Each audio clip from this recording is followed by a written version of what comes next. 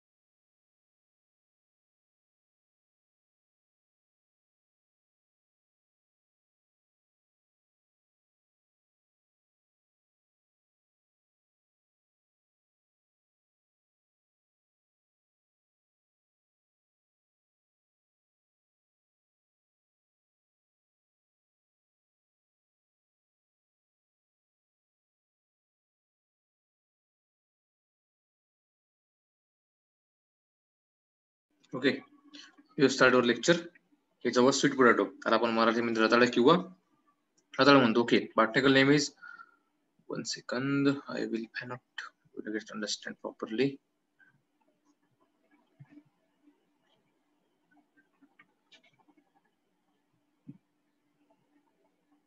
okay so sweet potato is botanical name is Ipomoea batatas family is Convolvulaceae origin is South America Okay.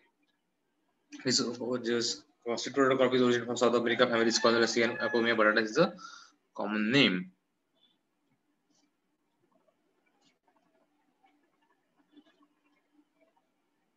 You can see the pictures of uh,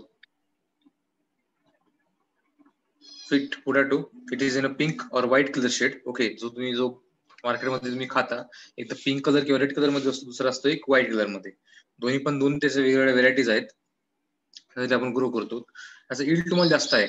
त्याची पर एकच yield किंवा पर cost जी तुम्हाला लागते आपल्या sugar क्रॉपसाठी त्या तुम्ही जर तुम्ही शुगरच्या जागी जर मी हा जर क्रॉप लावला तर तुम्हाला मॅक्झिमम इल्ड भेटेल with a short period of time as compare to sugar king crop त्याचं इल्ड जास्त आहे याचं मार्केट जास्त असते.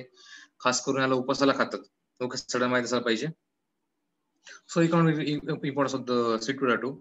Sweet potato is commonly known as ratade or tropical sugar beet. It's a biennial sugar producing sugar crop, a tuber crop growing in temperate countries. This is a crop considered only 30% of total world production. Okay, this crop considered only 30% of total world production, distributed in 45 countries. It is large, starchy with sweet tasting sugar, tuberous root vegetable. It good source of fiber contain vitamins B as well as vitamin C and as a mineral iron and calcium. It is little having the medium to high glycaemic max index okay थोडा प्रमाणात Glycine Mac हाय इंडेक्सच्या प्रमाणात असतात थोडा little प्रमाणामध्ये पण हा जो मेनली पर्पज आहे it is a starch gain purpose आणि sugar gain purpose okay maximum yield आहे तुम्ही समज शुगर कसे शुगर शुगर कसं बनवतो साखर जसे उत्पादन करू शकतो याच्यापासून सुद्धा. It is very important sugar and starchy crop. Okay, it is good as vegetables, but it is generally used in a uh, जे आपण फास्ट पकडतो. फास्टमध्ये जास्त शिवरात्री असेल किंवा वगैरे जे आपल्या सण समारंभ असतात त्या ठिकाणी हा बायसिन असल्यामुळे अवेलेबल होत नाही प्रत्येक वर्षी किंवा प्रत्येक महिन्याला. बायनी शिवरात्रीला अवेलेबल असतात काही काही वेळेस अवेलेबल असतात. So it is a temperate crop आपण त्याला रबी सीझनमध्ये लावतो. हार्वेस्टिंग जसं आपली शिवरात्री आपण हार्वेस्टिंग करतो. ओके लावण्याची मदत सोपी आहे. आपण याच्या वेली लावतो त्याचे जे प्लांट्स मटेरियल आपण जे युज करतो त्याला आपण वेली म्हणतो. ओके याच्या सीड्स किंवा आपण ट्युबर्स लावतो किंवा याचे वेल लावतो वेल. Okay plant material for use for transplanting apart from sugar production the value added products like ethanol can also be extracted from the sugar beet sugar सुद्धा चांगल्या प्रकारे बनू शकतात पण इथेनॉल जो कंटेंट आहे तो सुद्धा आपण चांगल्या प्रकारे याच्यापासून आपण एक्सट्रॅक्ट करू शकतो. आणि याची जे इन्कम आहे ती जवळपास शुगरपेक्षा डबल पटीने जास्त आहे. तुम्हाला रिटर्न किंवा इन्कम भेटू शकतात. ते शुगरपेक्षा आपले शुगर ट्रीट त्यापेक्षा तुम्हाला डबल भेटेल income as compare to sugar cane The ethanol can be blended with the petrol or diesel to the extent of 10% and used as a biofuel.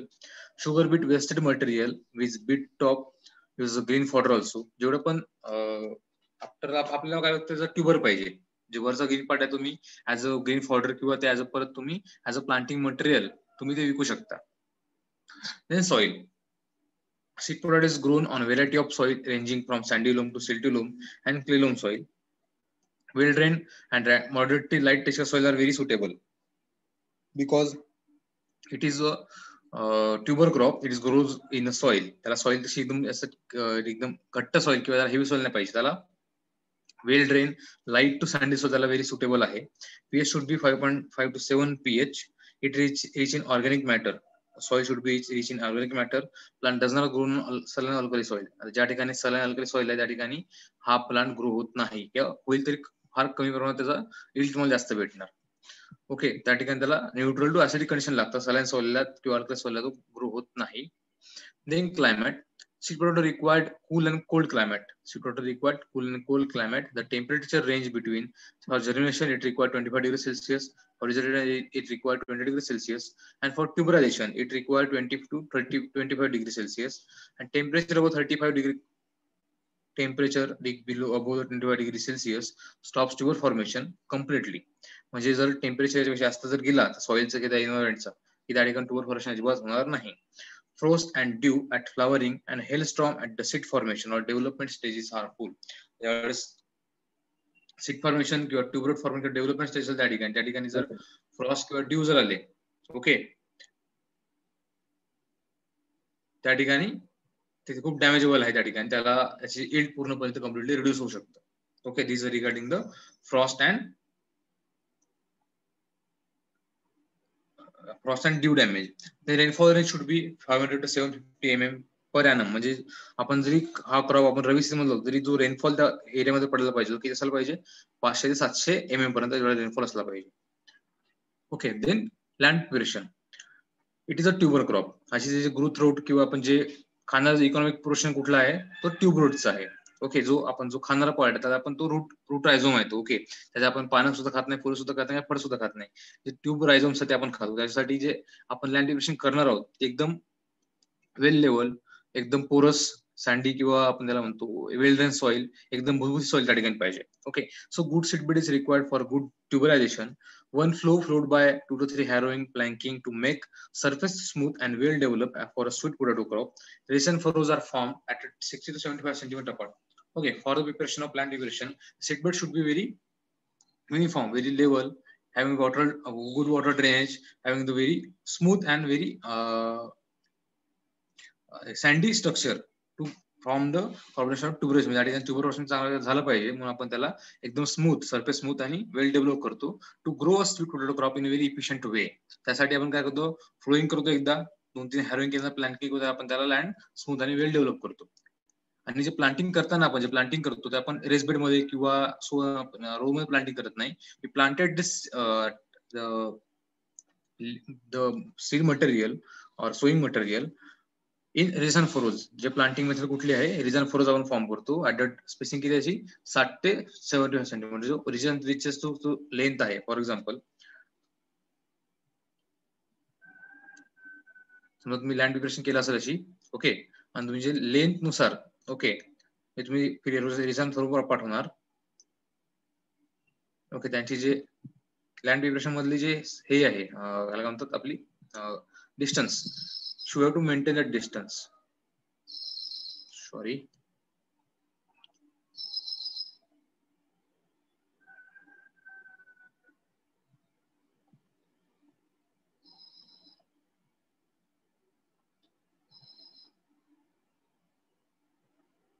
okay अशा प्रकारे त्या ठिकाणी आपण रिजेस अँड फोर्स फॉरवर्ड करतो जे उंचवटा भाग आहे त्याला आपण म्हणतो रिजेस आणि जे खालवट झाले त्यांना म्हणतो आपण फरोज तो डिस्टन्स आहे त्यांचा. ओके बिटवीन द रिजेस और बिटवीन द फरो अरे दोन लाईन म्हणून असतो डिस्टन्स हा तो किती असला पाहिजे? साठ ते सेव्हन्टी फाईव्ह सेंटीमीटर लक्षात ठेवा म्हणून तुम्हाला डायग्राम काढल्या ठिकाणी. तो डिस्टन्स तुम्ही त्या ठिकाणी मेंटेन ठेवू शकता. For planting that sweet potato crop okay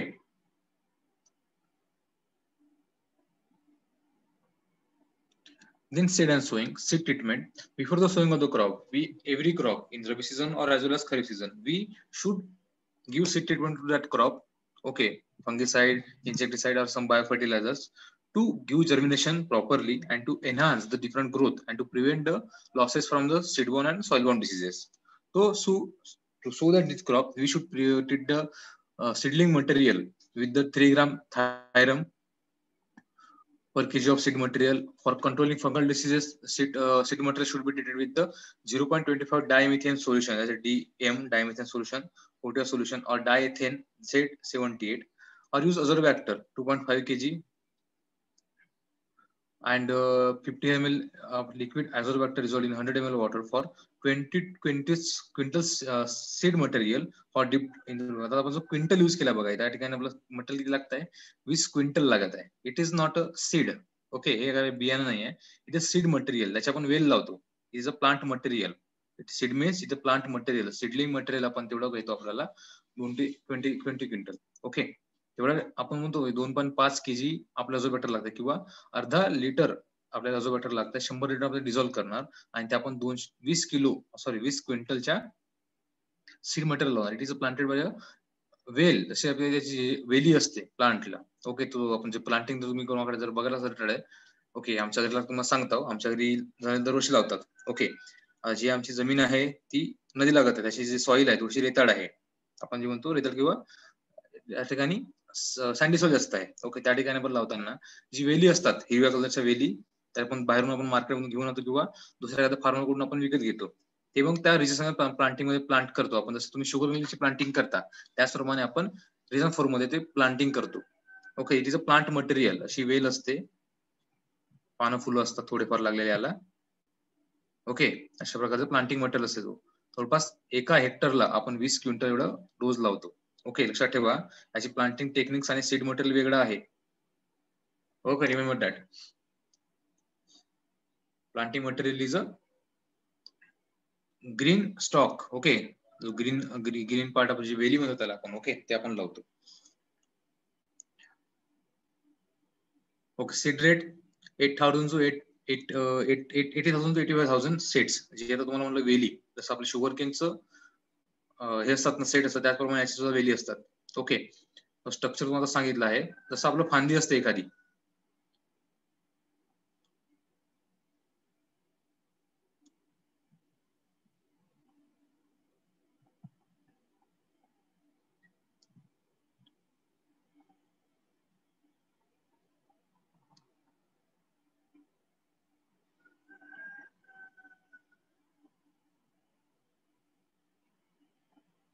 अशा प्रकारचा स्ट्रक्चर असतो त्या पानाचा.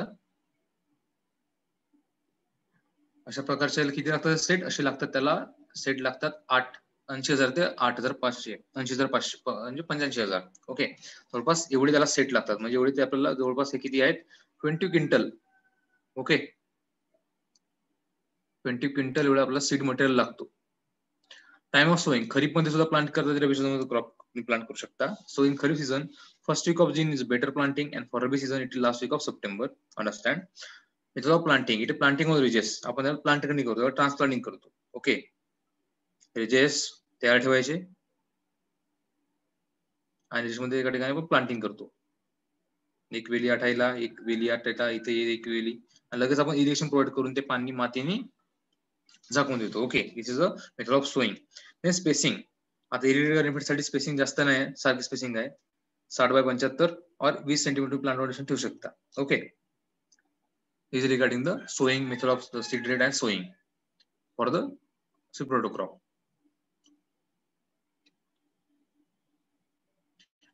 fertilizers F I require twenty to per hectare fertilizer ninety is to sixty ninety N P K G per hectare hydrogen nitrogen is delay tuber initiation and maturity ज्या ठिकाणी जर आपण हायड्रोज जर गेला नायट्रोजनचा if the nitrogen dose is more than ninety degree okay जर याच्यापेक्षा मोठा गेला वरती जर गेला याच्यापेक्षा nitrogen there will but delay in the tuber tuber formation okay जो नायट्रोजन डोस जास्त गेला नाही पाहिजे. Half dose nitrogen and full dose of P N K should be given sowing remaining half dose of nitrogen may be applied as a top bit dressing after 30 to 40 days after planting and at a time of earthing up आपण earthing करतो आपण earthing up करतो कुठे? ग्राउंडला sugar canola किंवा कुठल्याही क्रॉपमध्ये आपण करू शकतो. अर्थिंग सुद्धा करू जे वेली आहेत त्या रिझनमध्ये आपण जे अर्थिंग अप करतो या ठिकाणी ओके जे वेलीचं त्या ठिकाणी स्ट्रक्चर त्या ठिकाणी अर्थिंग अप केल्यानंतर त्या ठिकाणी मातीचे पूर्ण रूटचं स्ट्रक्चर आहे त्या ठिकाणी चांगल्या प्रकारे ग्रोथ चांगली होईल त्या रायझोमची मग आपण त्या ठिकाणी अर्थिंग अप करणं मस्त आहे. Then water and irrigation management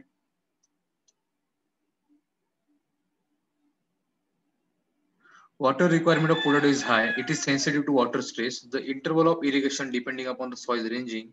That light soil, it is 8 days interval and heavy soil, it is 20 to 15 days interval. In light soil, 8 to 10 irrigation are required. In heavy soil, only 3 to 4 irrigations are required. त्या ठिकाणी heavy soil त्या ठिकाणी आपलं irrigation आणि irrigation interval जास्त असतो पण irrigation कमी असतात बट त्या ठिकाणी लाइट सॉइल इरिगेशन पिरियड कमी होतो इरिगेशन इंटरवल पण इरिगेशन जास्त वाहतात ओके युनिव्हर्सिटी लक्षात ठेवा are planting pre planting irrigation is beneficial for the quick germination तुम्ही जे प्लांटिंग करता शुगर केन पाणी सोडतो एकदा लावणीच्या वेळेस. तसं आपण त्या ठिकाणी पाणी सोडणं गरजेचं आहे. So most critical of potato are germination at ten to fifty twelve days after sowing sorry planting stolons formation thirty thirty five days after planting then tuberization tuber bulking fifty to sixty days after planting okay या सगळ्या गोष्टी आपण जर्मिनेशनसाठी खूप महत्त्वाच्या आहेत. आणि irrigation सुद्धा या ठिकाणी आपल्याला देणं गरजेचं आहे. कधी प्री प्लांटिंग इरिगेशन एकदा They had germination, they had stolon formation, and they had tuberation and tuber bulking.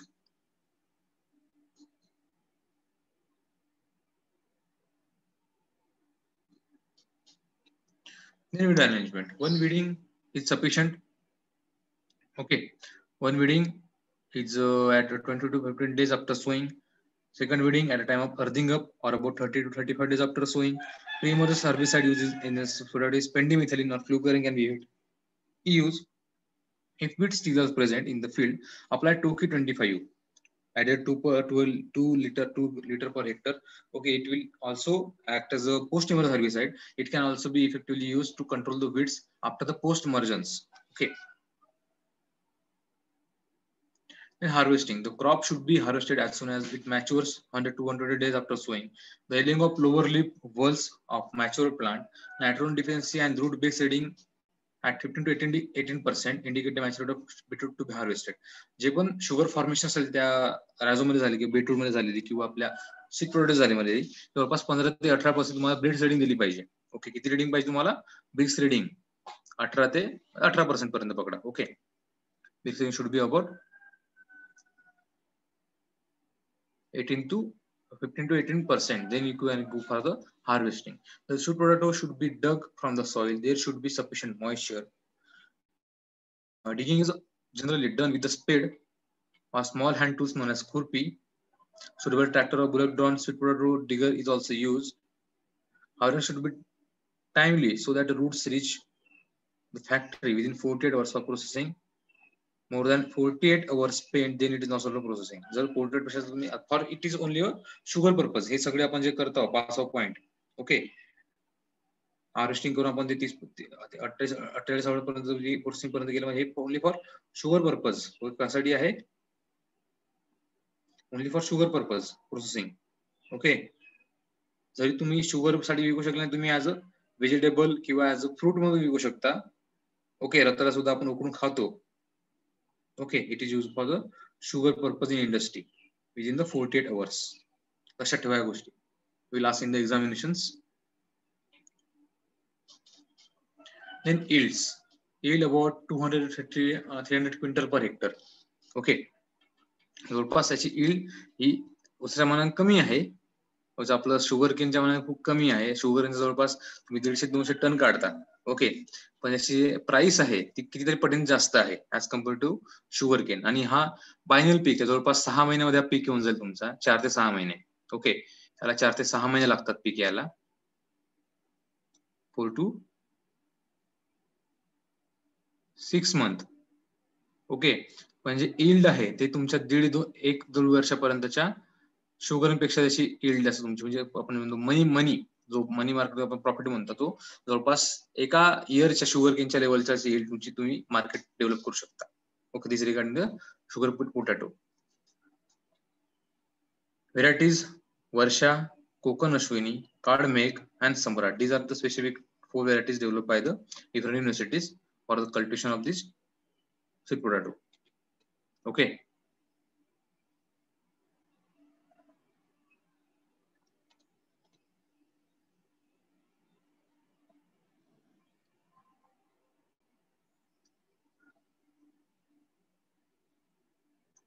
Then we study our next crop. That is safflower. Okay. आणि बाकी राहिलो होतं आपला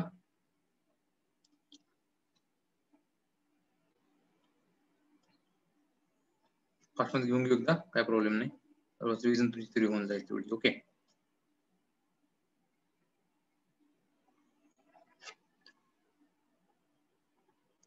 सो सॅफ्लावर त्यालाच आपण म्हणतो करडई okay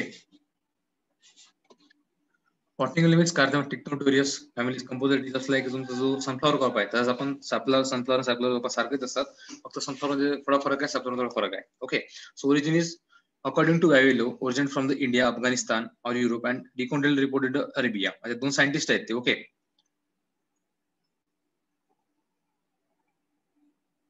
हा व्हॅरी लो नाही तो व्हॅवी लो आहे ओके हा व्हॅवी लो आहे spelling mistake is there according to Vavilo,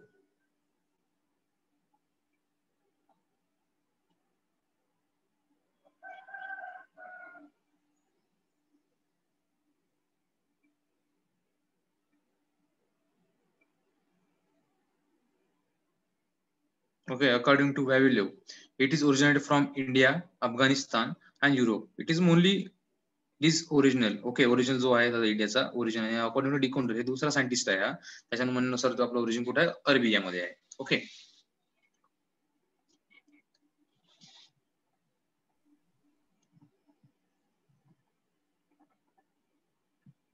Safflower is known as Karadai, Kusumbar, Kusum. It is drought traditional crop. Safflower having the good quality of edible oil, cooking oil.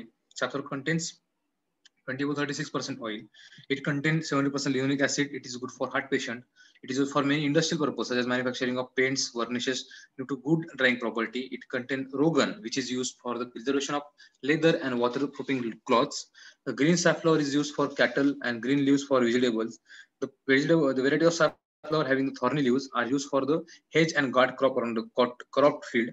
The oil cake from recoated seed is used for the cattle feed, which is contain 30, 40 to 45% protein. That is contain 5% nitrogen, 1.54% uh, phosphorus, and 1.2% potassium. Okay, this is regarding the economic importance.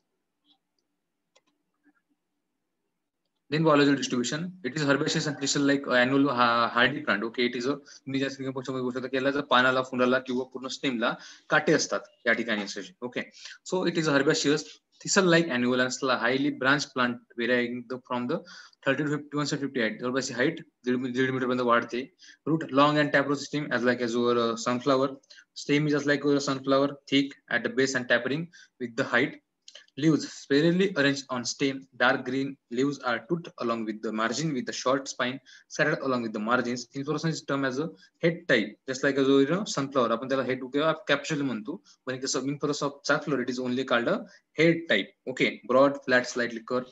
Flower is yellow and orange in color, just like as a sunflower color. Seeds smooth, shiny white in color, angular and wedges in the shape. जे safflower seed आणि sunflower सारखं असतात थोडा फरक आहे. Okay, safflower requires fertile and well-drained soil with having a high water holding capacity. Uh, shallow sandy soils and deep soil are very suitable for the safflower. pH should be 5.0 to 8.0. Okay, uh, acidic to medium uh, alkaline condition can be effectively used and it, it, can grow in all type of soil. Heavy soil with poor drainage is avoided. In climate, it is a temperate crop, so it require very uh, less temperature. It is day neutral and it is thermosensitive crop. Germination is at maximum or maybe normal at 15 to 16 degrees Celsius. High temperature at flowering is harmful for crop and low temperature causes adverse effect on pollination and seed set. So it is very thermosensitive. कारण तुम्ही याला top ह्या temperature त्याला जमत नाही किंवा cold temperature सुद्धा जमत नाही high rainfall at flowering reduces pollination seed formation impair the quality of produce. It needs medium humidity. Annual rainfall should be 1000 mm. Relative humidity should be 80 to 90 percent. Excessive cold and frost are harmful for the crops. Plant preparation. Okay, one deflowing or followed by two to three harrowing or planking is done for level of the field. Generally, one deflowing and two to four harrowing is required because this uh, crop is very in hardy nature. It does not require any uh, fine seed bed or very good seed bed. Okay, कुठल्या सॉलमध्ये कशा seed मध्ये येऊ शकतो. Okay, then regarding the seed and sowing, Seed treatment with Thyron Captain added 2.5 gram per kg of seed for controlling fungal diseases. Sowing time last week of October first week of November तेच आपल्याला आहे. पंधरा November पंधरा October जो पंधरा November. जो optimum time आहे आपला रबी सीझनचा क्रॉप इतर पेरण्याचा. तोच टाइम आहे सुटेबल सोईंग मेथड ड्रिलिंग आपण सोईंग करतो. डिविलिंग तुम्ही सुद्धा करू शकता या ठिकाणी. Okay seed rate 12 to 15 kg per hectare spacing 45 15 centimeter is followed 45 45 row to row 15 centimeter plant to plant depth of sowing is 45 centimeter The manuals on fertilizers. It requires 10 to uh, 15 ton of FOM per hectare for adding the organic matter or organic manure to the soil. And fertilizer requirement, chemical recommended dose of fertilizers, 20 kg nitrogen, 40 kg phosphorus, 20 kg potassium per kg, per kg per hectare should be applied at a time of sowing. No split dose of nitrogen should be given in that crop. All basal dose should be given. Intercropping, generally safflower sown as a sole crop because it is having very thorny nature तुम्ही या ठिकाणी intercropping करू शकत नाही काय करू शकत नाही. For protection of the other crops this crop sown is intercrop it is a trap crop okay intercrop आपण जो करतो ट्रॅप क्रॉप म्हणजे कसं लावतात? फॉर एक्झाम्पल तुम्ही समजा आता तुम्ही या एका फील्डमध्ये या ठिकाणी तुम्ही दुसरा क्रॉप पेरलाय. कुठलं? Gram crop okay for protecting this crop from the human or from the any other animals we plant this in red colour it is a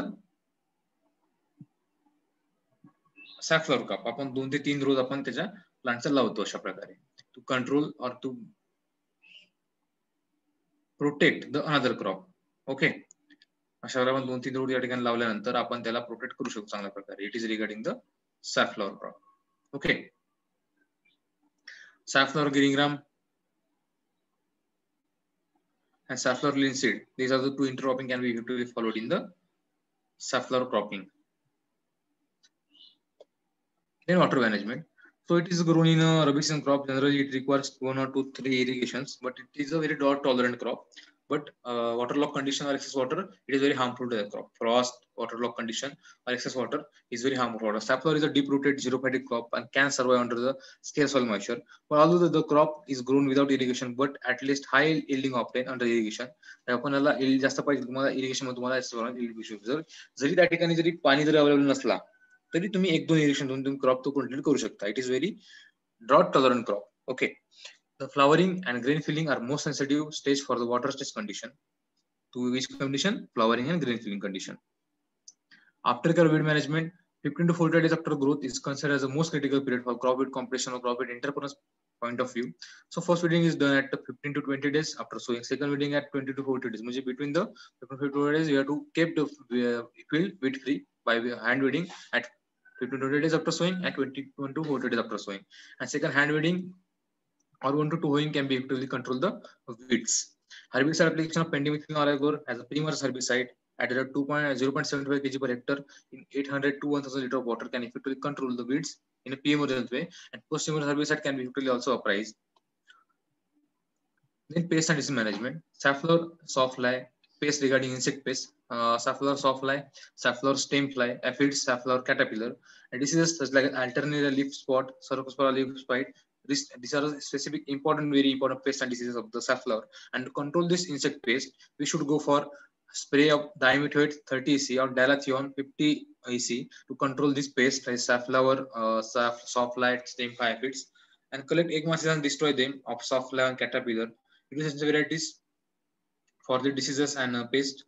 Follow three to four uh, crop production to control the wilt and field handlers reduce the disease intensity.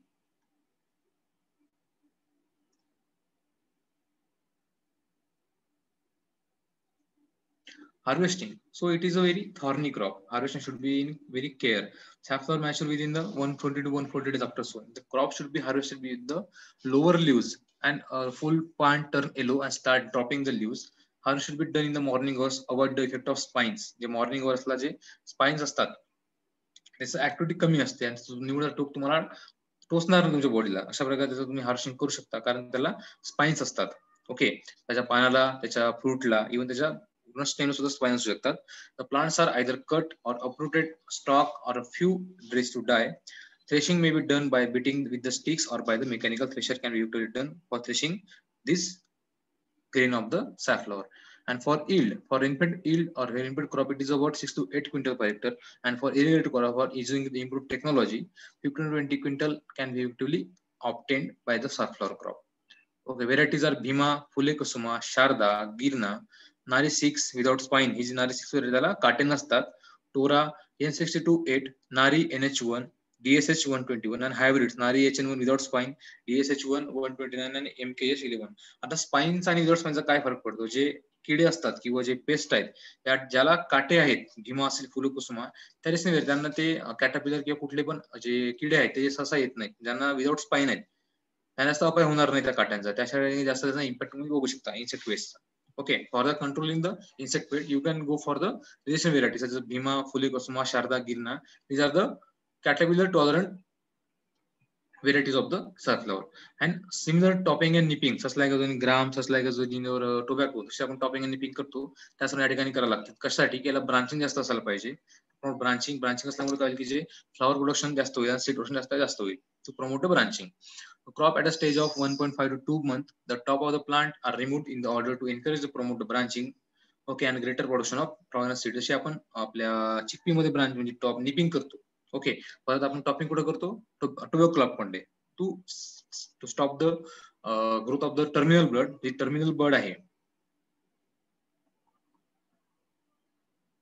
Okay समजा हा plant असा वाढत असेल एक minute okay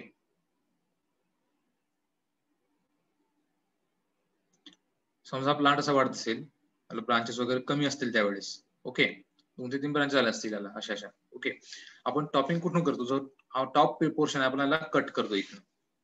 branching इथून परत त्याला फुटतात या साईडला वगैरे. जे ज्यावर जे एनर्जी आहे त्याच्यामुळे त्याला ब्रांचिंग वाढलं म्हणजे फुलं पाणी असं लागतं आणि आपली इल्ड नक्कीच वाढते जास्त प्रमाणात. त्यामुळे टॉपिंग किंवा निपिंग ओके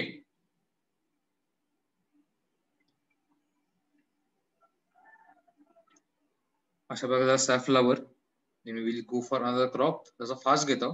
तुमच्या क्वेश्चन तुम्ही विचारू शकता नंतर. तुम्ही नोट करून घ्या. Okay safflower is over sugar sweet product is over okay then mentha सेटोला last crop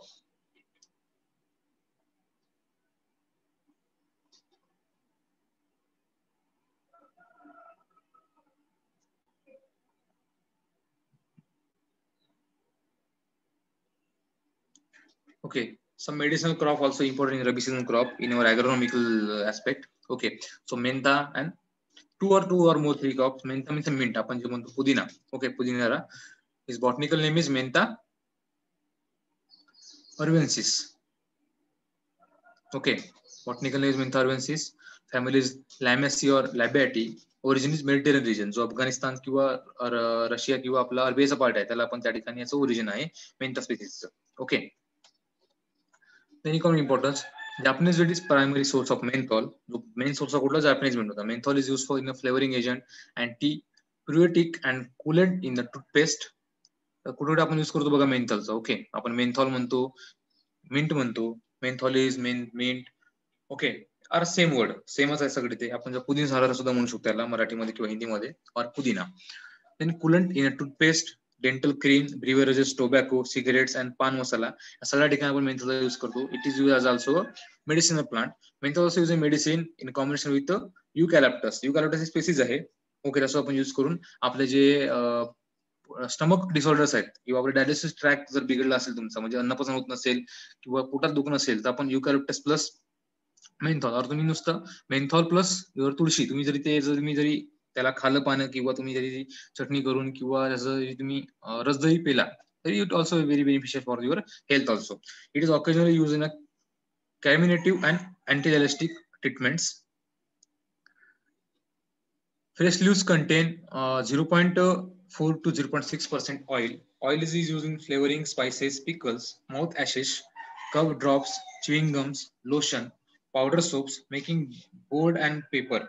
सुद्धा आपण त्या ठिकाणी आपण ऑइल सुद्धा युज करू शकतो it is excellent carminative and gastric stimulant for controlling the this gastric disorders or gastric diseases soil and climate so it is growing well drained deep organic soil and sandy soil loam to clay soil is very suitable it should be grown in a high ph having 8.5 ph waterlogging is avoided cold and tropical and subtropical climate is very suitable for that crop. It is a temperate crop. It is a required only cold season crop. Vegetative growth, it is about 20 to 20 degrees Celsius. Oil and oil and menthol increases at a rate or higher temperature of 30 degrees Celsius. Rainfall range up to 1000 to 22,000 mm rainfall is sufficient for that crop. It is long day plant because it is the uh, Rabi crop, so it is a long day plant. Every Rabi season crop, it is long day plant. Understand? It can tolerate frost also.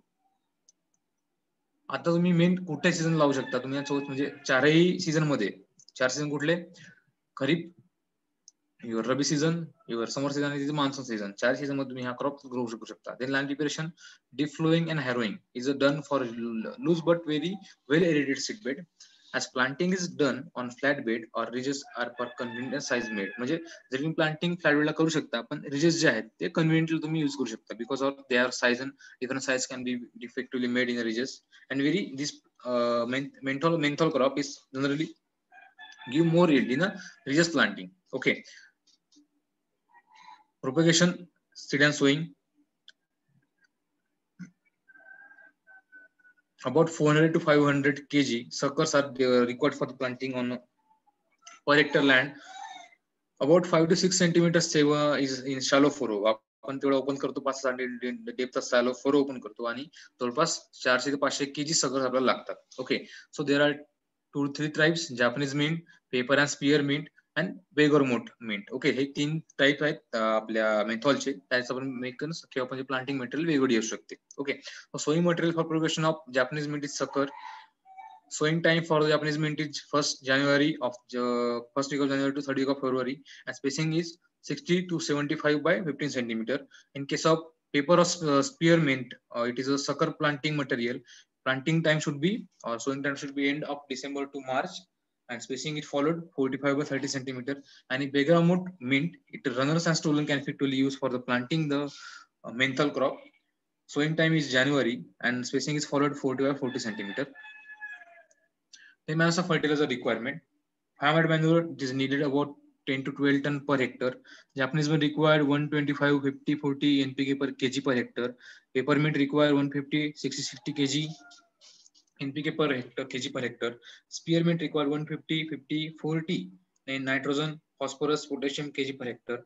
And begormont required 120, 60, 0 NP kg per hectare. No potassium is required for a begormont meat. So intercultural weed management. Weed reduces 60% of reduction in herbage or an oil yield. The crop should be weed free early stage. Three weeds should be given. Show a Sinbar at the rate of 1 gram active ingredient per pump as a pre spray to control the large number of weeds. Okay. या ठिकाणी आपण weeding तुम्ही करू शकता किंवा Singbar, it is a pre-emergence herbicide can effectively control the weeds in the peppermint. Then water management for the mint crop Water management required is very high. On an average, the crop needs about six to six irrigation.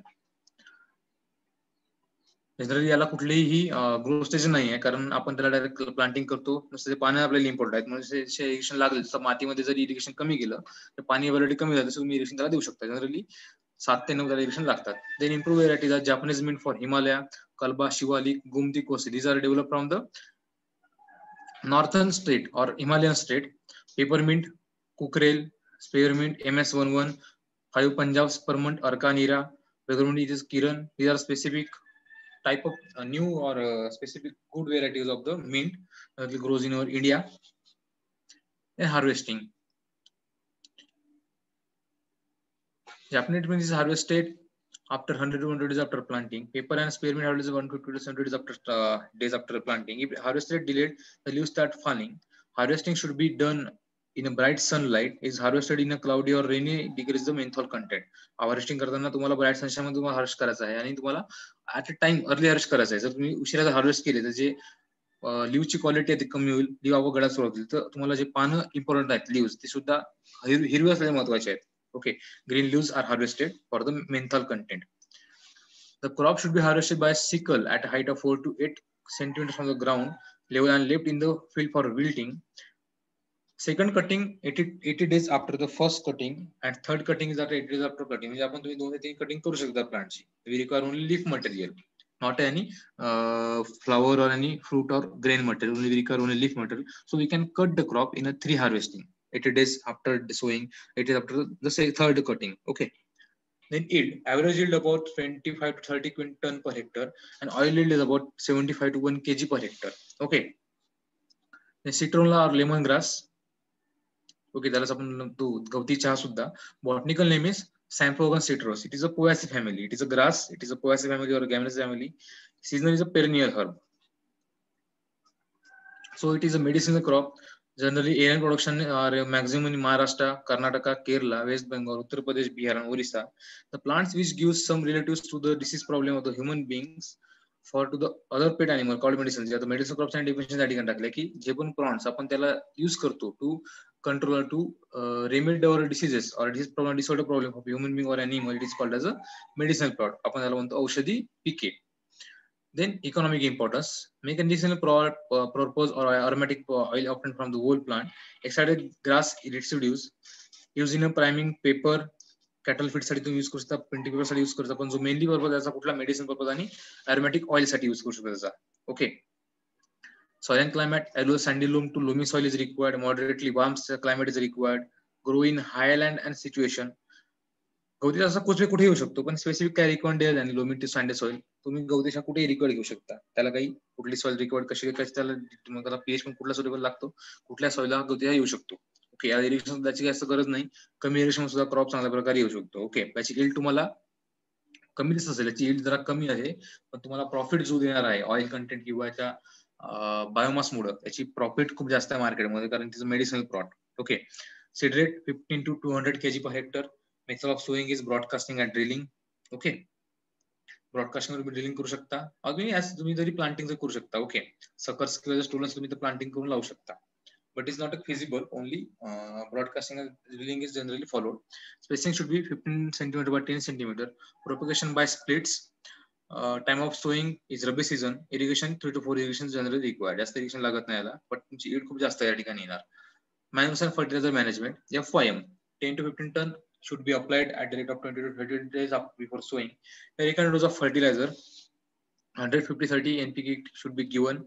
1 kg of molybdenum should be given because due to the molybdenum, it increases its medicinal properties. So we should apply one kg of molybdenum. Okay, duration is two to three years. It is a uh, perennial crop or a multi-seasonal crop. It requires two to three years for harvesting.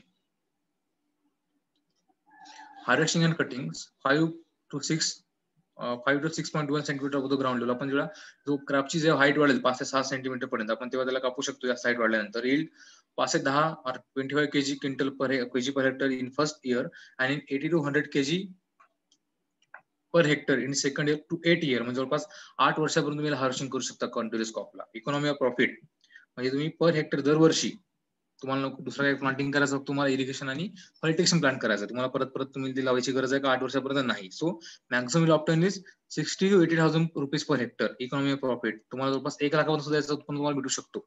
एवढा त्याचा profit आहे. Okay because it medicine product आणि तुम्ही direct त्याला market तुम्हाला तुम्हाला विकासाचा गरज पडणार नाही. कुठे जाऊन? मार्केटमध्ये एखादं किंवा व्यापार जे मेडिसिनल कंपनीज आहेत फार्मा कंपनीज आहेत तुमच्या शेतात येईल हार्वेस्ट करून घेऊन जातील. तुम्हाला डायरेक्ट तुमच्या अकाउंटमध्ये डायरेक्ट तुमच्या मनी येतात. ओके जो पैसा आहे तुमच्या डायरेक्ट बँक अकाउंटला जमा होतो. तुम्हाला कॅश सुद्धा पेमेंट करायची गरज पडत नाही. सो असे तुम्ही क्रॉप घ्यायला पाहिजे आता इकॉनॉमिक क्रॉप जे फार्मर्स आहेत ते त्यांच्याकडे लँड लेवल किंवा लँड प्रॉपर्टीज कमी आहे इरिगेशन फॅसिलिटीज कमी आहे त्या ठिकाणी हा क्रॉप चांगला प्रयोग शकतो. बघतो तो बाउंड तुम्हाला जे काही कॉन्टॅक्ट करावं लागतं. आता जो नवीन फार्म बिल आहे कॉन्ट्रॅक्ट फार्मिंगचा तुम्ही तो कॉन्टॅक्ट करा तुमच्या वेगळ्या कंपनीसोबत तुम्हाला खूप चांगला फायदा आहे. Okay then improved hybrid and varieties OD nineteen S D sixty eight C K P twenty five R L sixteen are this improved and hybrid and varieties generally grown for the लेले म्हणजे सिटून लागेल गवती चहा okay.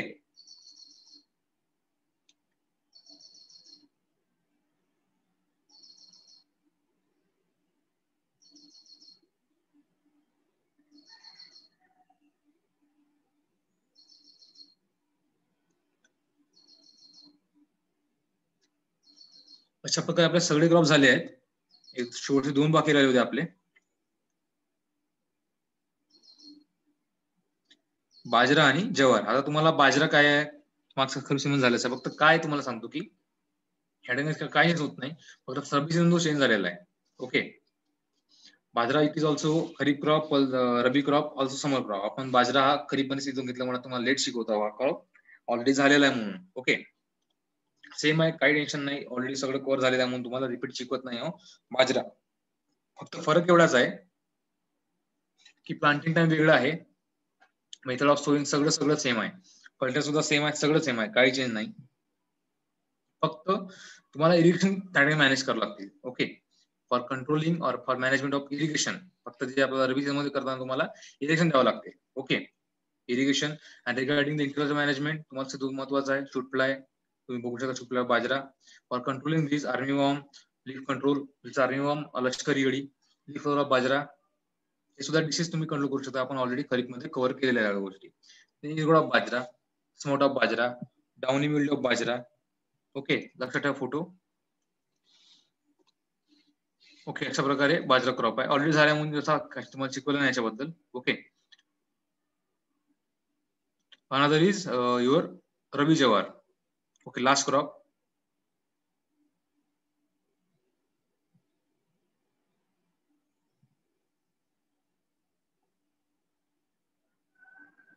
This is your rabi jowar okay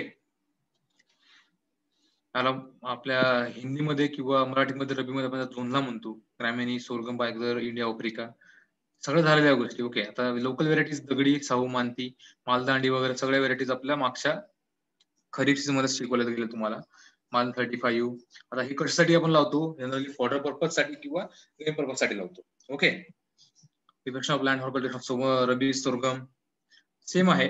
जरी first rated first cut kharif तुम्ही जर केलं असेल त्याला परत तुम्ही रबी सुद्धा लावू शकता. जर क्वार्टर टॅकाने अवेलेबल झाली फक्त त्या तुम्हाला sowing time sowing method irrigation method त्या सगळ्या सारख्याच आहेत. फक्त तुम्हाला इरिगेशन किंवा बाकीच्या गोष्टी तुम्हाला मेंटेन ठेवणं महत्वाचं आहे. लुसमर डाऊन विडू स्ट्रायगा तुम्ही पुढे बघू शकता Maldandi species is given is there okay it is Maldandi species just overlook you already know about jawar and bajra because earlier we have completed that. Okay, so this is Maldani variety. Bijawar M35U1 Maldani. You can see the duration. Green is bold. In Full Yashoda, this variety is Full Yashoda, white seed, uh, white seeded uh, Jawar. Okay. Important pests of Rabi Jawar, shoot fly, nature of damage, control measures, aphid nature of damage and control measures, stem borer nature of damage and control measures. Just read, you will understand. Okay. and mechanical lit mechanical of seat for two tractor you can see the pictures काही दोन wheel seat ट्रॅकल आहे समोर बाहेरचं okay हा engine आहे मागे या ठिकाणी बसणार आपला ड्रायव्हर इथे मागे बसणार इथून त्या ठिकाणी तुम्ही एका ठिकाणी सीट टाका एका ठिकाणी फर्स्ट टाका आणि तुम्ही वेळेला तुम्ही टू बॉस सेटल तुम्ही ऍट अ टाइम तुम्ही करू शकता. Okay it is a two wheeler tractor दोन चाका समोर इंजिन दिलेलं आहे मागा ड्रायव्हर बसलेला आहे. ओके इझिली तुम्ही सोईंग ऑपरेशन त्या ठिकाणी तुम्ही करू शकता. Okay no problem with help of your bullocks bullock for तुम्ही यासाठी करू शकता. In for revising there their cropping patterns okay with help of bullock power you can also sow the different crops okay अशा प्रकारे तुमचा syllabus झालेला आहे. Agro two four सिक्सचा सगळे क्रॉप शिकवले तुम्हाला. Wheat barley chickpea French bean lentil linseed mustard pea potato safflower sugar beet sugar cane sunflower potato rabi jowar bajra okay your sunflower safflower mentha lentil किंवा uh, आपलं sweet potato okay हे सगळे crop तुम्हाला झालेले होता already तुमचा syllabus complete झालेला आहे आता ओके एक लास्ट राहिलं होतं आपलं मग शिकवायचं. It is agro two four seven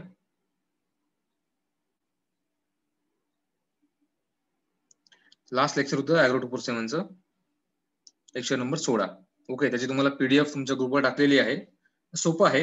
Visit to various I S model आपल्याला लास्ट लेक्चर काय की जेवढे पण आपल्या इंडियामध्ये आपल्या महाराष्ट्रामध्ये जिथं कुठे जर आय एस मॉडेल डेव्हलप झाले असतील त्या ठिकाणी आपण व्हिजिट करून आपला स्टडी करायचा आहे. ओके फॉर एक्झाम्पल आता आपल्या जवळपास राहुरीमध्ये खूप चांगला आय एस मॉडेल डेव्हलप झाला. दोन तीन आय एस मॉडेल ठिकाणी डेव्हलप केले आहेत. ओके तेच आपण बघणार आता. आता राहुरी तुम्ही जाऊ शकत नाही किंवा आम्ही जाऊ शकत तुम्हाला नेऊ शकत नाही ऍज अ ट्रिप म्हणून. Just go for theoretical lectures theoretical समजण्याचा प्रयत्न करू आपण so the I model under irrigated condition was carried out under the agronomic discipline at MPKV for small farmers already Rahuri विद्यापीठामध्ये ऑलरेडी रिसर्च झालेला आहे. मागच्या दहा पंधरा वर्षापासून फॉरेस्ट रिसर्च ऑलरेडी रिसर्च चालू आहे. ओके तिथं डॉक्टर उल्हास सुर्वे सर तिथले प्रोफेसर आहेत अॅग्रोनॉमी डिपार्टमेंटचे त्यांच्या अंडर हा एक प्रोजेक्ट चालला होता. मागच्या दहा पंधरा वर्षापासून चालू आहे आता पण. बेस्ट रिझल्ट त्या ठिकाणी डेव्हलप झालेले आहेत. Okay IPS model on one hectare area under irrigate condition concept like म्हणजे एका हेक्टर एरियामध्ये इरिगेट कंडिशनला त्यांनी एवढं क्रॉप घेतलं बघा. म्हणजे फील्ड क्रॉप घेतलं त्यांनी. Zero point seven two hectare एरियामध्ये फील्ड क्रॉप घेतला. कुठले? Soybean maize pearl millet wheat gram onion cowpea green gram lucerne hybrid म्हणजे अल्टरनेटिव्हली ते kharif season rabi season summer season त्या ठिकाणी ते वेगवेगळे क्रॉप घेतलेले आहेत. म्हणजे सोयाबीन मेस पर मिलेट हे समोर मध्ये घेतलेले आहेत. व्हीट ग्राम ओनियन किंवा काउपी हे सगळे त्यांनी समोर मध्ये रबी मध्ये घेतले आहेत. ग्रीनग्राम लुसन आणि हायब्रिड नॅपर त्यांनी समोर मध्ये घेतले आहेत. Mango it is a permanent crop perennial crop having the area two point zero hectare horticulture crop it is. An animal component in 0.08 hectare two cow breed as generally used plus 100 poultry breeds in five lots. पाचशे poultry birds per vermicompost unit त्यांनी टाकलेलं त्या ठिकाणी. Okay अशा त्यांनी एक IPM develop केला होता एका हेक्टरसाठी एरिया तुम्हाला सांगतो आता कंटिन्युअस तीन सीझनमध्ये त्यांना हे तुम्हाला इल भेटत आहे ओके डेव्हलप करताना आणि जनरली हे सगळे फार्मर युज करतात. म्हणजे एका हेक्टरमध्ये तेवढ्या एरियामध्ये फील्ड क्रॉप त्यांनी लावलेला आहे. त्यांना इयर म्हणजे सोयाबीन मेज पूर्ण तीन सीझनमध्ये त्यांना फील्ड क्रॉप्स इल भेटली. आहे मँगोची त्यांना इल भेटली आहे एका सीझनमध्ये पर इयरमध्ये.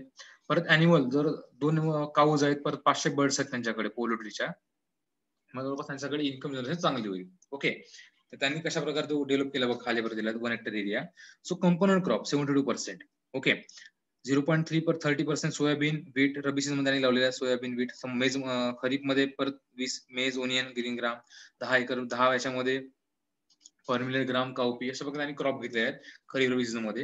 हॉर्टिकल्चर कंपोनंट कुठला आहे? मँगो ऑर्चर्ड अॅनिमल कंपोनंट कुठला आहे? तर दोन काउ ब्रिड्स परत hundred poultry birds in five lots पाचशे म्हणजे शंभर शंभर शंभर टोटल पाचशे बर्ड झाले त्या ठिकाणी आणि एक वॉर्मिंग कंपोस्ट युनिट त्या ठिकाणी डेव्हलप केलेलं आहे so this I S model for one hectare under irrigated for getting higher production profitability, food security, recycling of resources, and employment generation for the small farmers.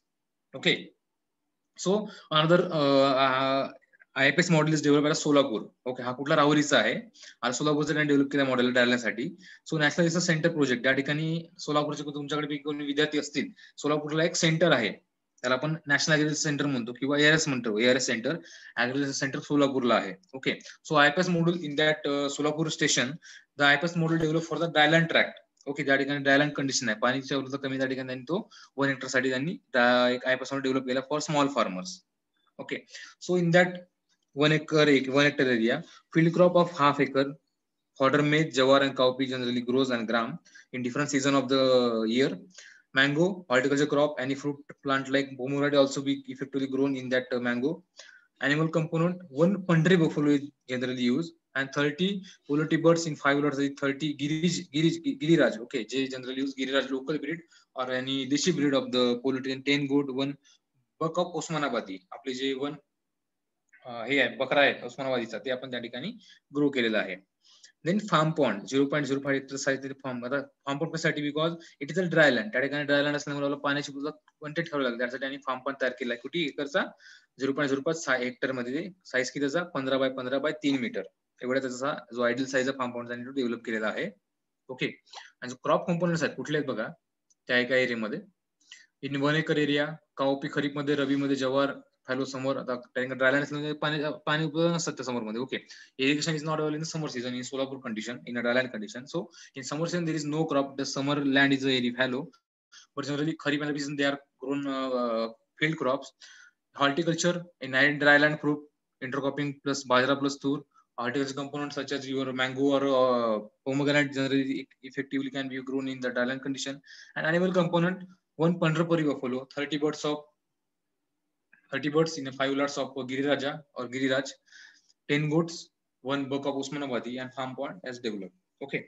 So farm means land without fallow आपण मुलाला land question अशा प्रकारे develop केलेला आहे त्या ठिकाणी okay this is a two different models that for develop in our Maharashtra in MP क्युरावरी विद्यापीठ one at MP क्युरावरी अनदर ऍट सोलापूर ओके सांगलीमध्ये सुद्धा डेव्हलप केलं आहे कोल्हापूरला सेंटर आहे एक NARP national agriculture research project NARP Shenda park Kolhapur Sangli station आहे. त्या ठिकाणी सुद्धा असे वेगवेगळे मॉडेल डेव्हलप केलेले आहेत.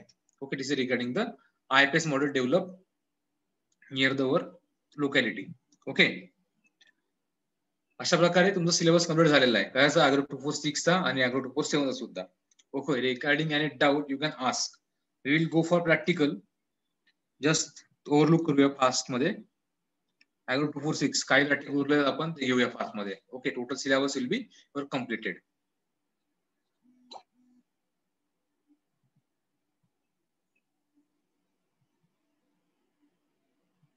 okay so in the exercise number one two three four five six okay already we have done this exercise okay so just you have to done, calculate the study of yield control connectors or rabi season crop 7 8 9 11 आपण ते बाकी होते तेच important आहेत okay oil extraction of medicine crop तुम्हाला हे सगळे read करायचे आहेत तुम्हाला एक्झाममध्ये क्वेश्चन विचारत जातील ओके तुम्हाला जे प्रॉब्लेम्स विचारणार असतील ते calculation of population okay calculation plant population seed rate fertilizer doses याचे तुम्हाला पॉप्युलेशन तुम्हाला प्रॉब्लेम विचारतील. बाकीचे क्वेश्चन्स आहेत जे तुमच्या रिगार्डिंग प्रॅक्टिकल तुम्हाला पंधरा एक्सरमध्ये विचार देतील. ओके आपण ऑलरेडी सहा एक्सर आपण कंप्लीट केलेल्या होत्या. ओके ह्या सगळे एक्सेस झालेल्या आपल्या.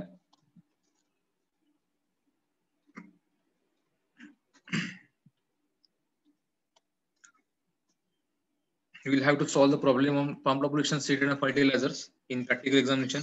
You to write this manual okay तुम्हाला सुद्धा लिहून काढायची आहे. Okay to get proper knowledge of the problems and how to solve it and you will get in for help from the this problems in your practical examination okay study of electronic characters कुठले कुठले characters electronic characters in case of wheat and barley जसे आपण आपल्या पॅनिकल initiation म्हणतो किंवा राइसमध्ये आपण शिकलेले होते. Number of tillers per plant number of spikelets per plant number of spikelets per tillers number of grains per spikelet और number of grain per weight सगळ्या गोष्टी त्यांनी दिलेल्या it is a green original green characters सोर्गममध्ये chickpea मध्ये कुठकुठले आहेत just overall you will I will ask questions which plant character which इलॉटोमिक characters of the which crop generally we studied for the इलॉटोमेटिंग characters okay then you to write आता देऊ शकत नाही just overlook करा या ठिकाणी okay and then you have to find out okay estimated cost. Okay you can see in the problem तुम्हाला estimated cost find out करायची आहे. आफ्टर द फॉलोइंग डाटा मग तुम्हाला स्पेसिंग दिली म्हणजे त्या ठिकाणी प्लांट पॉप्युलेशन दिलेली आहे. Number of ear head per plant एका इयर रेटला प्लांटला किती इयर रेट आहेत? Number of grains per average ninety test weight दिलाय तुम्हाला. सो तुम्हाला कॅल्क्युलेट करायचे एस्टिमेटेड इल्ड कॅल्क्युलेट करायचे जेव्हा क्रॉपची so you have to write this exercise and you will ask I will ask some questions in practical exams regarding the calculation of yield. Just you have to calculate. आता बघाल की या ठिकाणी second तुम्हाला problem दिला आहे. Okay तुम्हाला yield calculate करायची chickpea क्रॉपची in quintal per hectare per hectare तुम्हाला क्विंटल पर हेक्टर तुम्हाला चिकची चिकपीची तुम्हाला इल्ड कॅल्क्युलेट करायची आहे. स्पेसिंग किती तुम्हाला दिली आहे? तीस बाय दहा. Average number of primary branches per plant चार. आणि एका ऍव्हरेज सेकंडरी ब्रांचेसला किती ब्रांचेस सेकंडरी ब्रांचेस दोन. Number of pods per branch तीन. Number of grain per pod one test weight for 100 grains 30 gram. Area under the crop 1 hectare. So to find out first population that is this 33 3 lakh 33,333 then number of plants. Okay you will get uh, number of uh, number of grains per plant 24 grains per plant number of grains per hectare. Then you have to calculate the number of grains in a kg per hectare. Then you will get the answer in quintal per hectare. So this is the final answer, 23.93 quintal per hectare. This is the final answer for the chickpea yield. As like as you have to write and you have to solve the, all the assignment. Then I will ask the, some questions from this assignment also. Okay. Experiment number nine it is regarding the study of yield and juice quality of the analysis of sugar cane. आता आपण ते analysis कसं करतो okay आता तुमच्याकडे sugar केनचं crop असेल okay आज तुम्ही मार्केटमध्ये विकास झाला त्या ठिकाणी जे फॅक्टरीज आहेत शुगर फॅक्टरीज म्हणा किंवा आपले जे शुगरकेन मिल्स आहेत कारखाने सहकारी कारखाने किंवा कोणाच्या मालकीचे असेल ते सुद्धा त्या ठिकाणी आपण शुगर विकतो. त्या ठिकाणी शुगरची क्वालिटी चेक करू शकतो. त्याच्यावर आपला जे दर ठरतो आपला. ओके सो क्रॉपेज किती आहे? शुगर केन सुरू म्हणजे, म्हणजे त्या ठिकाणी शुगर अडसालची किती असते? प्रिसिजनची किती आहे? रटूनची किती आहे? सुरूची किती आहे? परत हा क्रायटेरिया काय हार्वेस्टिंगचा कुठला हार्वेस्टिंग स्टेज आपण हार्वेस्टिंग करतो? कंटर्स शुगर म्हणजे कुठले प्रॉब्लेम्स आहेत शुगर प्रोडक्शनमध्ये? त्या ठिकाणी मेन्शन केलेल्या आहेत त्या गोष्टी. ओके ज्यूस क्वालिटी अनालिसिस कशा प्रकारे अनालिसिस करतात दोन मेथड्स आहेत. मेनली आपण क्वालिफाईड करतो. एक ब्रिक्स रिडिंग फॉलो बघतात ज्यूस ब्रिक्स और juice brix reading juice sucrose content और pol percentage purity coefficient reducing sugars या सगळ्या गोष्टी आपण कॅल्क्युलेट करून शुगर केनची क्वालिटी किंवा शुगर केन ज्यूस और ज्यूस क्वालिटी आपण अनालिस करू शकतो. Okay and for commercial cane sugar CCC okay एक reference to total equal sugar percent in the cane ते आपण सुद्धा कॅल्क्युलेट करून ते आपण रिडिंग दाखवू शकतो. ओके त्या ठिकाणी तुम्हाला चार्ट दिलाय तुम्हाला ते लिहायचं आहे तुमच्या मॅन्युअलमध्ये. Okay I will ask some questions regarding this sugar and quality म्हणजे सुक्रोज किती पर्सेंट पर्सेंटला जास्त असते? रोडिन शुगर किती आहे? ऑइल म्हणजे काय? पॉलिसॉगरेट किती असते? ऑर्गॅनिक सॉल्ट किती? इनऑर्गॅनिक सॉल्ट किती? या सगळ्या गोष्टी you to note that and you to write okay components of sugar components of sugar cane juices chemical composition and carbohydrate compound कुठले असतात? किती प्रमाणात असतात?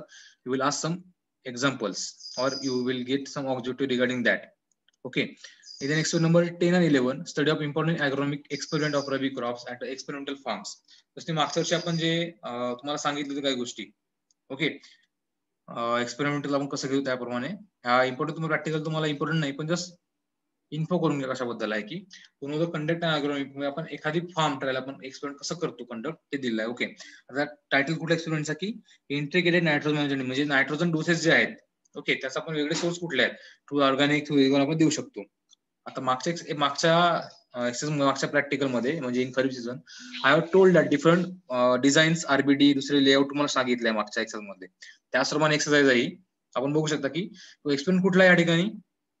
Experiment number one it is the title integrated nutrient management in the wheat study the effect of integrated nutrient management म्हणजे आपण जे integrated nutrient manage कशी करतो? Through the F I M through vermicompost through chemical fertilizers through rhizobium और to azotobacter to bio fertilizers कशाने आपण nitrogen source करू शकतो? ते या ठिकाणी दिलेलं आहे.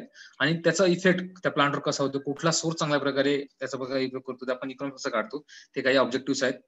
Action details are laid on the next in the next design generally follow design random block design इथे eight treatment okay eight treatment आपण ट्रिपलेट केलाय ओके आता ट्रीटमेंट दिलाय बघा? Number T one it is hundred percent general recommended dose of fertilizer that is 120 60 60 kg of npk plus 10 uh, ton of fym recommended dose of r2 rt2 it is 75% rdf and azotobacter पेज म्हणजे पंधरा टक्के आपण किती दिलेला RDF हे कमी जास्त करून त्यांनी मेंटेन ठेवलंय. जवळपास हे T one two T eight असे ट्रीटमेंट्स आहेत. आपण त्याला म्हणतो नायट्रोजन ऑफ फर्टिलायझर डोजेस हे तीन एप्लिकेशन आहेत. आर वन आर टू आणि आर थ्री त्या ठिकाणी आपण ते ब्लॉक पाडून एका एका ठिकाणी इथं एक प्लॉट आहे. या ठिकाणी आपण एक लेआउट लागणार इथं गहू लावणार इथं गहू लावणार. पण त्याचे फर्टिलायझर डोज आहे त्याचा प्लॉटनुसार आपण देणार. टी वन म्हणजे काय? शंभर टक्के आरडीएफ टी सिक्स म्हणजे काय? It is fifty percent RDN through fertilizer आणि through fertilizers and form fifty percent form F I M अशा प्रकारे ट्रीटमेंट त्या ठिकाणी दिलेले आहेत okay so you to understand that way okay it is a MSc MSc मध्ये तुम्हाला अशा प्रकारे एक्सपेरिमेंट तुम्हाला फॉर्म करावं लागतात. जस्ट तुम्हाला इंटरव्ह्यू व्हावी म्हणून या ठिकाणी दिलं so design is a randomize block design reflection is three एक दोन तीन. तेच तुम्ही बघा. T one T two T three T four T five T six T seven T eight R one सुद्धा म्हणजे रिफ्लेक्शन वन आहे. आर टू मध्ये सुद्धा तेच आहे. पण ते रँडमायझेशन केलं या ठिकाणी. ओके प्लॉट चेंज केले आहेत. परत या ठिकाणी आरटी मध्ये मध्ये प्लॉट चेंज केला पण ट्रीटमेंट तेच आहे. आणि आपण रेप्लिकेशन म्हणतो. ही एक रेप्लिकेशन दुसरी रेप्लिकेशन तिसरी रेप्लिकेशन ट्रीटमेंट किती आहे? आठ. T one two T eight plot size is gross plot size जो याचा ग्रास प्लॉट साईज आहे तो. Four by three by six metre square आहे. आणि जो नेट प्लॉट साईज आहे three point two point seventy metre square आहे. Sowing date third December of दोन हजार एक. अकराचा एक्सपेरिमेंट आहे बघा हा. तुम्ही दोन हजार एकवीसमध्ये आहात आणि अकराचा एक्सपेरिमेंट तुम्हाला आता शिकवायचं सांगते पैकी विद्यापीठ. म्हणजे किती मागासलेला असलेला आपण okay just to know the अर्थ तुम्हाला काय की याचा तुम्हाला फक्त विद्यार्थ्यांना एक्सपेरिमेंट सायंटिफिक एक्सपेरिमेंट कसे परफॉर्म करतात किंवा सायंटिफिक एक्सपेरिमेंट रिसर्च ट्रायल जे कंट्रोल आहे युनिव्हर्सिटीला किंवा वेगळ्या कॉलेजला एम एस पीएचडी चे किंवा रिसर्च ट्रायल वेगळ्या सायंटिस्टचे अशा प्रकारे दिले. त्या ठिकाणी तुम्हाला इंट्रोडक्शन व्हावं. त्यासाठी या सगळ्या गोष्टी दिलेल्या आहेत. Okay so varieties fully Trimbak N I W thirty D Sharbati समोरा spacing generally follows twenty two by five centimetre in the lines recommended dose of nitrogen recommended dose of fertilisers या सगळ्या गोष्टी मेन्शन केलेल्या आहेत.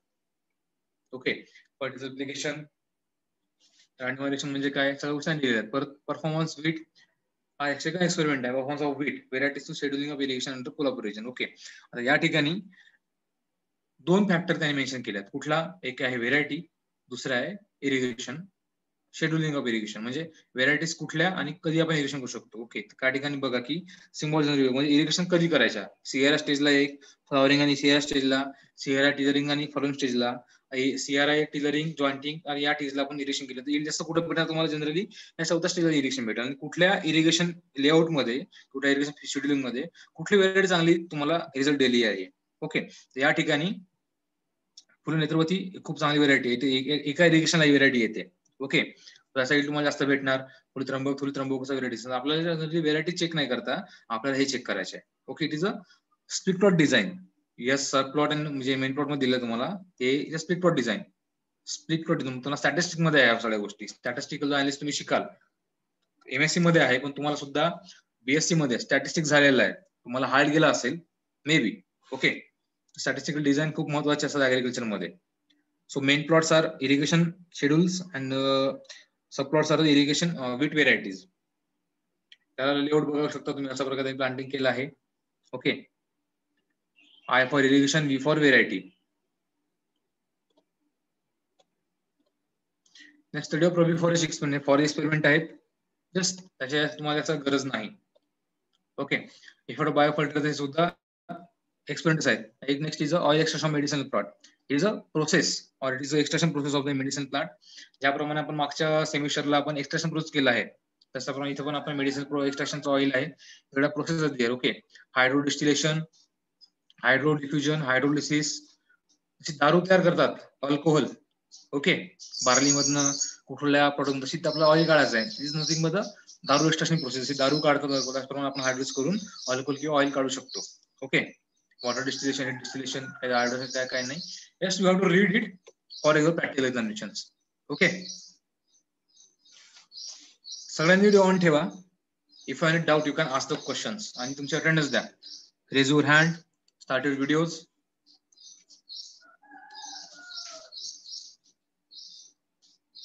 okay practical syllabus is also completed जरा fast घेतलाय कारण जास्त ते इम्पॉर्टन्स शेवटचे नव्हते. मागच्या वर्षी तुम्हाला ते झालेलं असं ऑलरेडी कसे आपण एक्सप्लोर करतो त्या गोष्टी. Okay bus you have to maintain you have to read all the practical manual you have to write all the calculation or all the problems in the manual for your practical examinations I not to read all the practical for practical examination okay so please go for study and give examination in a very good manner. Copy न करता exam द्या. चांगल्या प्रकारे तुम्हाला mark पडतील. Copy करायला चुकाल. Okay जरी कोणाला डाऊट असेल एक्झाममध्ये सिलेबसमध्ये विचारू शकता. No problem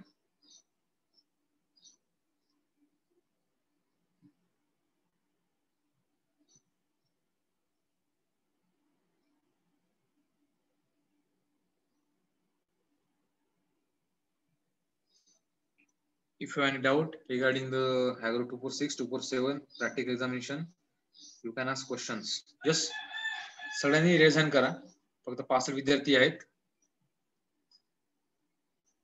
हँड रेस करा सगळ्यांनी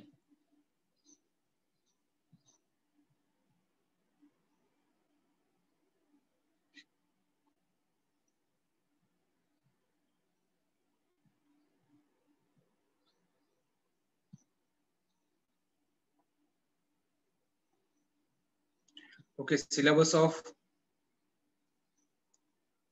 Agro 246 and practical also completed.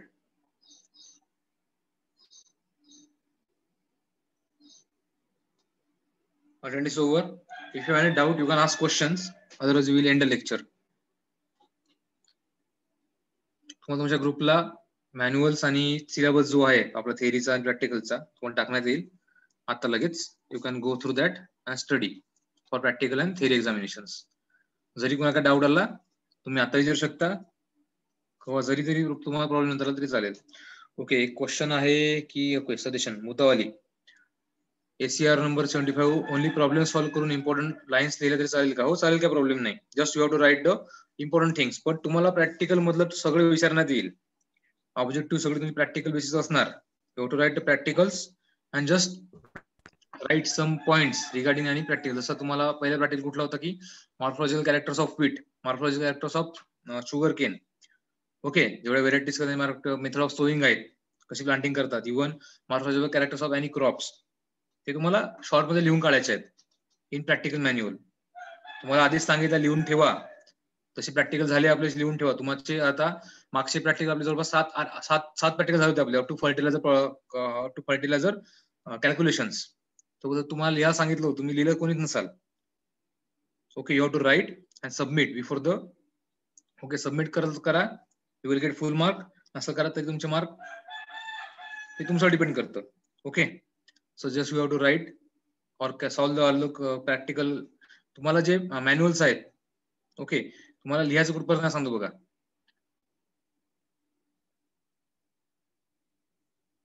तुम्हाला exercise number one two three four five six seven eight nine आणि एक्सरसाइज नंबर तेरा चौदा हे लिहायचे आहेत. कारण त्या ठिकाणी थेरोटिकल मटेरियल आहे. आणि जे एक्सरसाइज नंबर दहा अकरा किंवा बारा किंवा पंधरा आहे ते लिहायची गरज नाही तुम्हाला. ओके नोट करा. एक्सरसाइज नंबर एक दोन तीन चार पाच. Wait a minute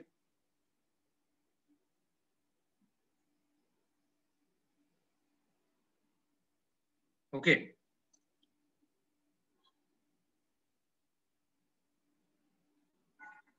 You have to write exercise number one soy method of wheat soy method of sugarcane in short okay तुम्हाला पूर्ण डिटेल याची गरज नाही शॉर्टमध्ये लिहा कारण तुम्हाला याचा फायदा तुमच्या प्रॅक्टिकल एक्झामला होणार आहे म्हणून तुम्हाला सांगतो ऍटलिस्ट वाचा चांगल्या प्रकारे okay exercise number one soy method of wheat exercise number two soy method of sugar cane exercise number three identification of weeds of in rabi season crop exercise number four study of morphological characteristics of rabi crops exercise number six that is calculation of plant population seeded and fertilizer doses of the rabi crops study of yield economic characters of rabi crops exercise number seven and eight exercise number nine study of yield and juice quality analysis of sugarcane okay you will see some questions regarding these topics whether it is mcq whether it is just writing short answer whether some other some any questions okay स्पॉटिंगमध्ये सुद्धा प्रॅक्टिकलच्या मॅन्युअलच्या बाहेरच्या येणार नाही तुम्हाला एक्झाममध्ये okay जे तुम्हाला त्या ठिकाणी मार्क करतो तुम्हाला तेच लिहायचं आहेत किंवा तेच अभ्यास करायचे त्याच्या बाहेरचा अभ्यास करायची काही गरज नाही.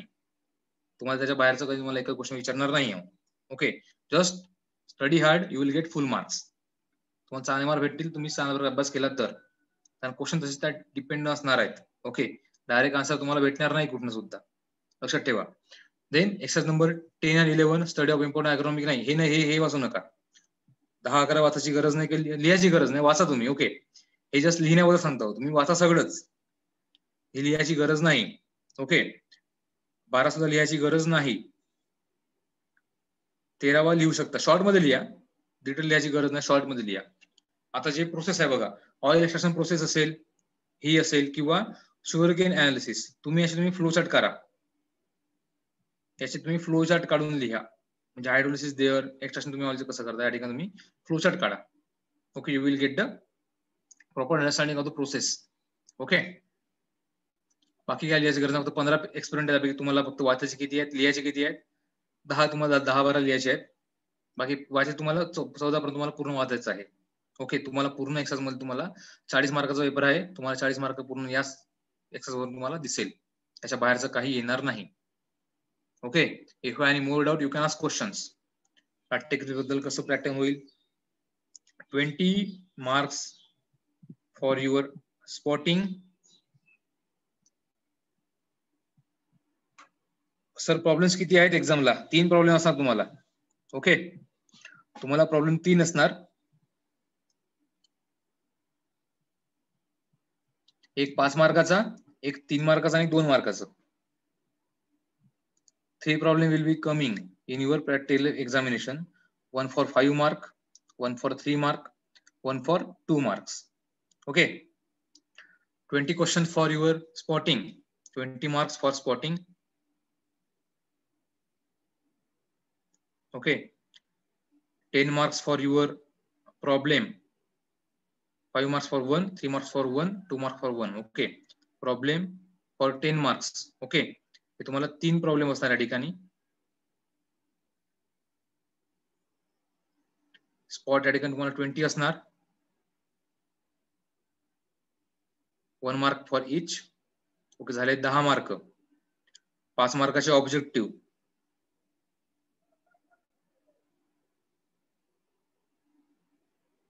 Five objective for that.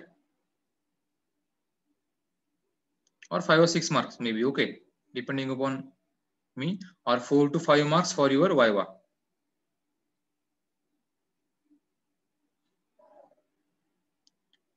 किंवा जरी वायवा जरी घेतला नाही मी तरी तुमचे दहा मार्काचे ऑब्जेक्टिव्ह त्या ठिकाणी होऊन जाईल मग ओके जर मी जर वायवा नाही घेतला पेपर तुमचा काढणं चालू आहे माझ्याकडनं ओके स्पॉटिंग फिक्स झालेत प्रॅक्टिकल फिक्स प्रॉब्लेम फिक्स झालेत ओके ऑब्जेक्टिव्ह आणि तुमच्या वायवासाठी अजूनपर्यंत काही काढलेलं नाहीये ओके वेळ पडली तुम्हाला ऑब्जेक्टिव्ह पाच मार्क असणार किंवा दहा मार्क असणार ऑब्जेक्टिव्ह किंवा वायवा पाच मार्क असणार ओके डिपेंड ऑन टाइम आपण ते ऍडजस्ट करूया नंतर.